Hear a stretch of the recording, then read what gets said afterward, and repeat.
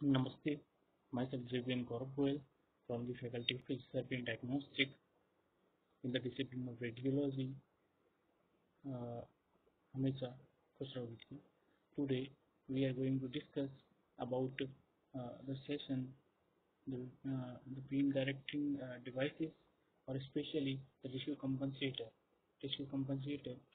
Uh, uh so beam modification device is defined as beam modification device is defined uh, uh, defined as desirable modification in the spatial uh, distribution of radiation within the patient by insertion of any material in the beam path.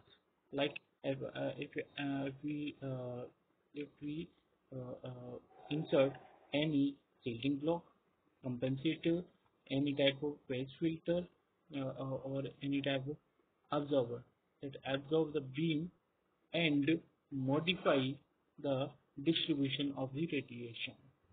There are four type of beam modification device or beam modification uh, uh, devices. First one is shielding, second one is compensation, third one is phase filtration, fourth one is flattening. Okay, so these are the these are the uh, uh, four uh, uh, mm, four inserted inserted mechanism in beam paths. So let me discuss about the compensator, tissue compensator. Beam modification, it is a beam modification devices which even out uh, the skin surface contour while retaining the skin sparing advantage.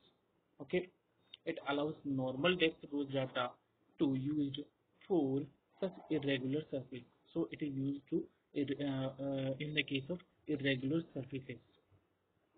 Compensator can also be used to compensate for tissue heterogeneity. Heterogeneity means uh, the distribution of tissue is not uh, same mm, manner or not the same. This is this way the primarily used this uh, uh, was primarily used in total body irradiation to compensate for those irregularities arising due to reduced scatter near the field edges and horns in the beam profile. So tissue compensators compensate the regular surface when we are treating the uh, uh, the um, when we are treating the uh, uh the uh, whole body whole body irradiation or uh, when we are treating the whole body. Okay so next we are discussing about the bolus.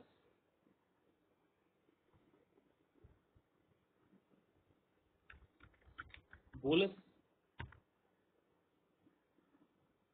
bolus is also a bolus is uh, bolus is also used for uh, or to uh, to remove the uh, irregular surfaces irregular tissue shape. It must be possible to mold the bolus to fill the tissue space. It is loosely packed in polythene bags shape of the skin surface. These bags are usually smooth to achieve a flat surface. So it it convert uh, it convert uh, irregular surface into the flat surface after using it on the skin surface, modifying those at a skin surface and depth.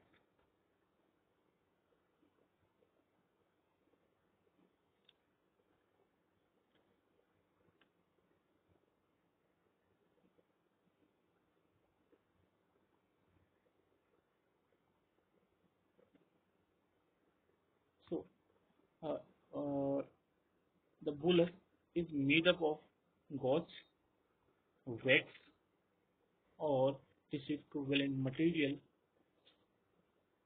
So, the uh, gauze, wax, and uh, any other and other materials perspex bolus is used.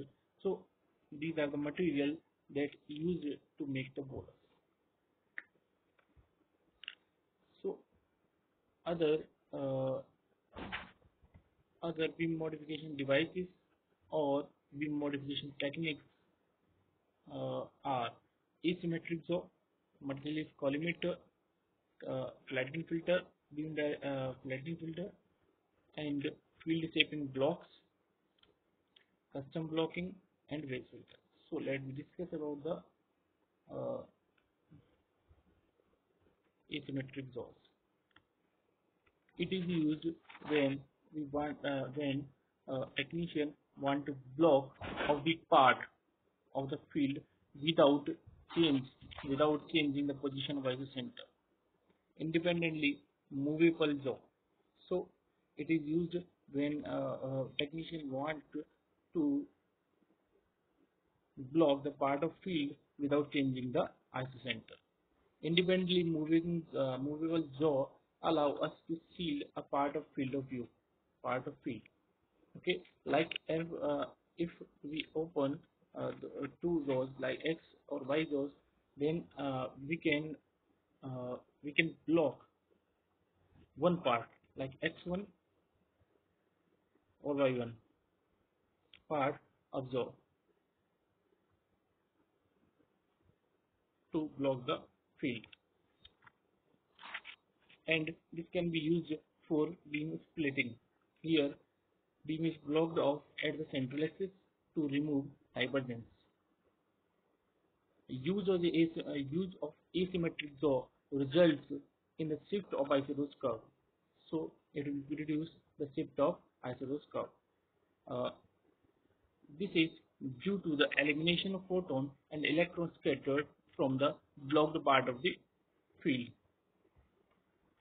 So next we are discussing about the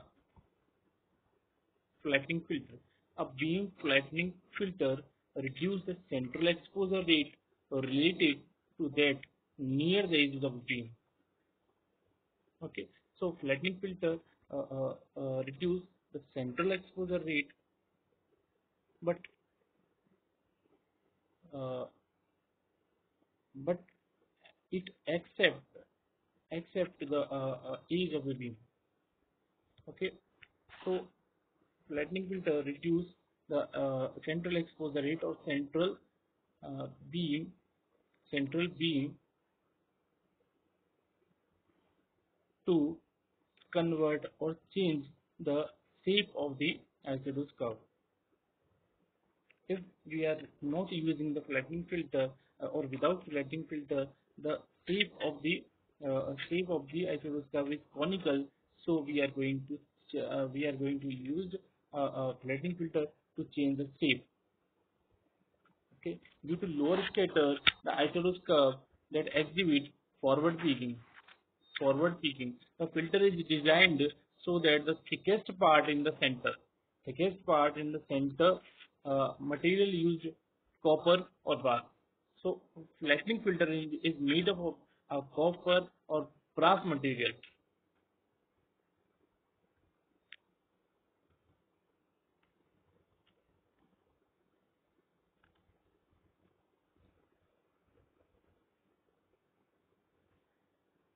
Next. There uh, next uh, we are discussing the field shaping block. The field shaping blocks help to minimize uh, minimize the dose to helps to minimize the dose to the normal tissue as well as uh, the vital organ the shaping of a treatment. So it is used to minimize the dose to the normal tissue or surrounding tissue or vital or critical organ. The shaping, uh, the shaping of the treatment field is decided uh, by the target volume. Field shaping uh, can be done by the shielding blocks made of lead. The thickness, the thickness of lead required to provide adequate protection of shielding area depends on the beam quality and allowed transmission through the blocks. So a primary beam transmission uh, transmission 5% 5% through the block is acceptable for most clinical situations. So primary beam. In the case of primary beam, uh, there is a uh, uh, there is a accepted there is a accepted accepted leakage is 5% through the blocks. Thus, a thickness of 4.5 4.5 uh, to 5 SVL of lead would give less than 5% primary beam transmission. So 4.5 to 5 SVL of lead would give less than 5% primary beam transmission. The lead blocks are usually uh, placed above the patient, placed above the patient on a transparent tray between the path between the uh, source and the patient.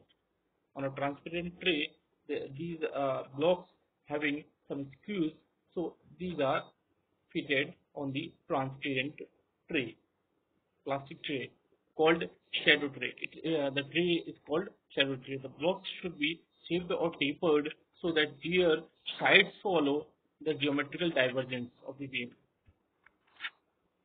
The however divergent block offer little advantage over Kowarski beam since it has large geometrical penumbra.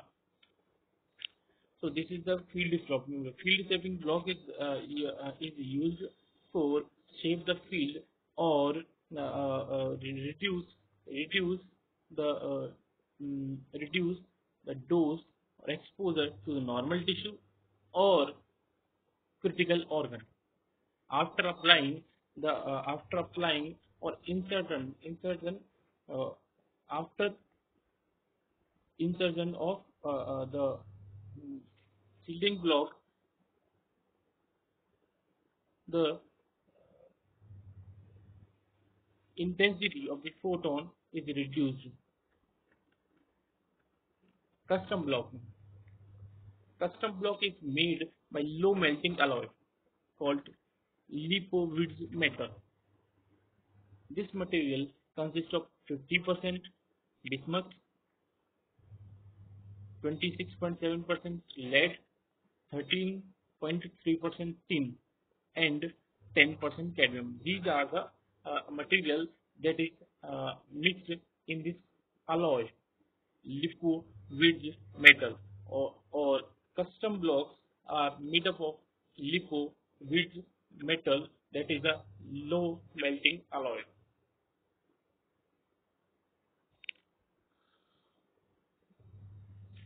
It melts at about 70 degrees Celsius and therefore can be cast into any shape at room temperature uh, at room temperature it is harder then lead. It is harder than lead. Hmm. The minimum thickness required is 7.5 cm for mega voltage photon beam. So,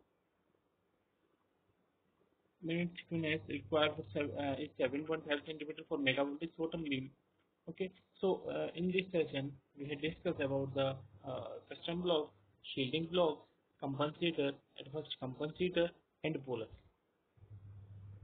so this session is uh, uh particularly important for radiotherapy applications or shielding material that is used in the radiotherapy to shield the normal tissues and by uh, according to the shape and uh, according to the shape and the critical organ or vital organ. Okay. I think you are satisfied with this session. If you have any queries, then put it into the comment box. I'll resolve it later. Thank you. The session is powered by digital version 2.0 JVWU Jaipur. Thank you.